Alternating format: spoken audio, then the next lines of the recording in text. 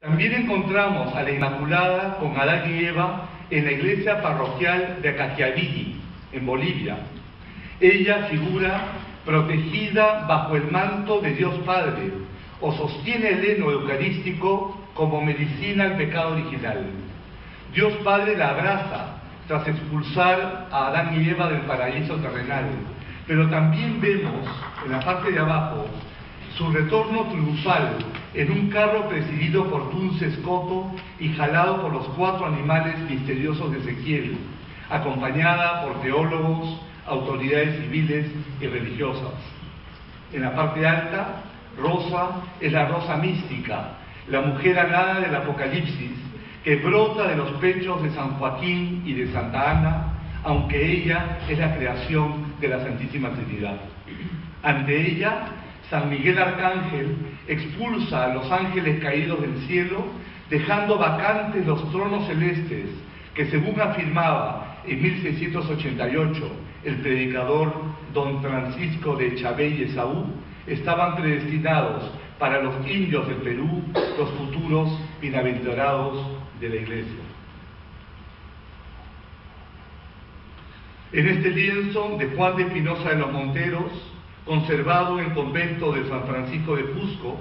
encontramos en la parte alta del lienzo a un San Juan Evangelista, no sé si lo pueden ver en el lado eh, izquierdo, escribiendo sobre la mujer alada del Apocalipsis que desciende horizontalmente frente a él, mientras ella es alabada, según la inscripción, la victoriosa Virgen María, Madre de Dios, que es llamada por Santa Clara, San Francisco de Asís y San Luis IX, que representan a las tres órdenes franciscanas. María es el jardín cerrado que contiene la fuente de la gracia, a Cristo crucificado. Dentro del jardín hay cuatro manos franciscanas de las que emanan los cuatro ríos de este paraíso mariano que encierran los símbolos hebreos que habían prefigurado su grandeza. El candelabro de siete brazos, el ave fénix, el altar del sacrificio, la zarza ardiente, el arca de la alianza, entre otros. El tenor apocalíptico de la composición se vislumbra en el lado izquierdo, donde se muestra el combate librado en el cielo por San Miguel Arcángel, que corresponde a la batalla dada contra el dragón infernal por las tres órdenes franciscanas en la tierra. En la tercera orden, si lo ven en la parte alta, destaca claramente el rey Felipe IV, acompañado por caballeros y militares que llevan en su escudo las letras sin pecado original.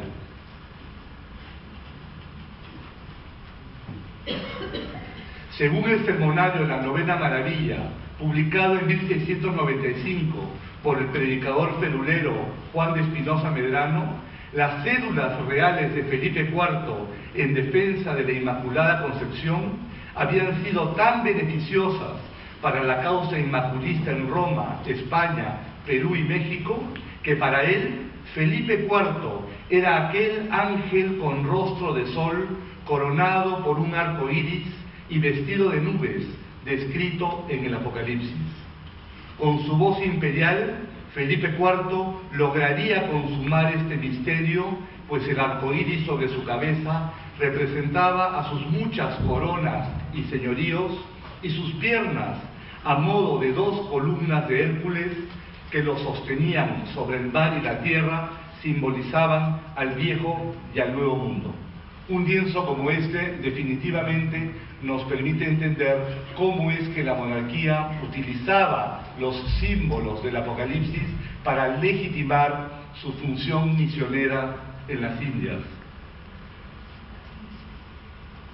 Este lienzo arequipeño del siglo XVIII está basado en un grabado de Juan de Jauregui e ilustra la obra del teólogo español Luis de Alcázar, muerto en 1613. Esto también es interesante, cómo se emplea en el siglo XVIII fuentes eh, flamencas, españolas de siglos anteriores. En otras palabras, para exaltar el sentido profético del descubrimiento, fue necesario adaptar a España y América vaticinios y ciclos proféticos de diversa data y procedencia.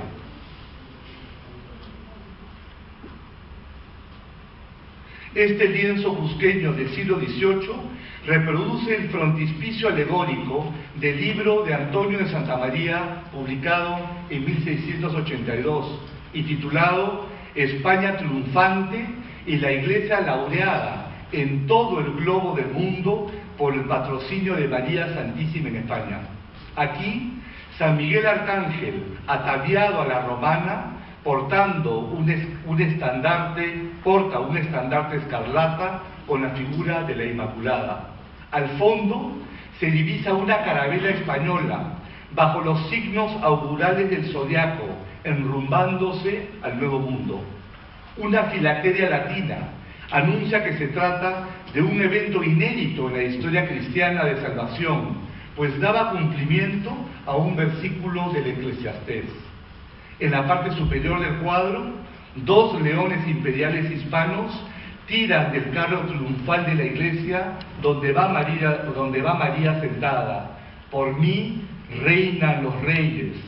dice la Virgen, y Cristo con los brazos extendidos le responde, esposa, ven y serás coronada. Hasta el siglo XI,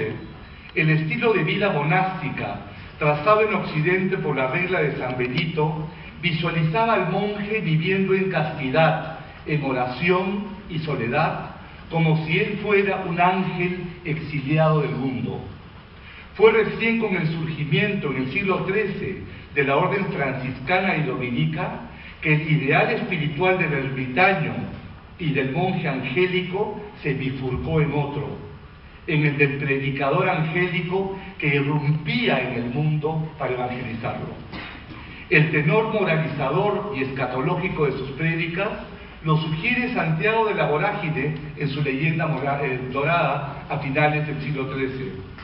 Cuenta que estando Santo Domingo en Roma, esperando que el pontífice confirmara su orden, una noche tuvo una visión. Vio a Cristo con tres lanzas en la mano a punto de arrojarlas para destruir el mundo. Pero la Virgen, su madre, le pidió misericordia y compasión para con la humanidad y lo detuvo con el fin de presentarle a los dos ser siervos de Dios que salvarían al mundo y lo someterían a su dominio, al propio Santo Domingo y a San Francisco de Asís. Este lienzo pertenece a la vida de San Francisco, pintado por Basilio de Santa Cruz en Cusco hacia 1668 y conservado en Chile. Vale la pena mencionar también que todas las series existentes de la vida de San Francisco de Asís, la primera, el primer lienzo se titula La profecía, y ahí se le representa al propio San Francisco como el ángel alado del Apocalipsis, frente al propio San Juan Evangelista escribiendo sobre él. Y esto es porque en el Apocalipsis San Juan menciona que al final de los tiempos aparecería un ángel que llevaría sobre las manos las señales del Dios vivo. Y en la medida que San Francisco fue el primer santo estigmatizado de la historia, no fue muy difícil que incluso personajes tan importantes como San Buenaventura lo identificaran al propio San Francisco como el ángel eh, visto por San Juan en el Apocalipsis. El hecho que las series peruanas de Reinales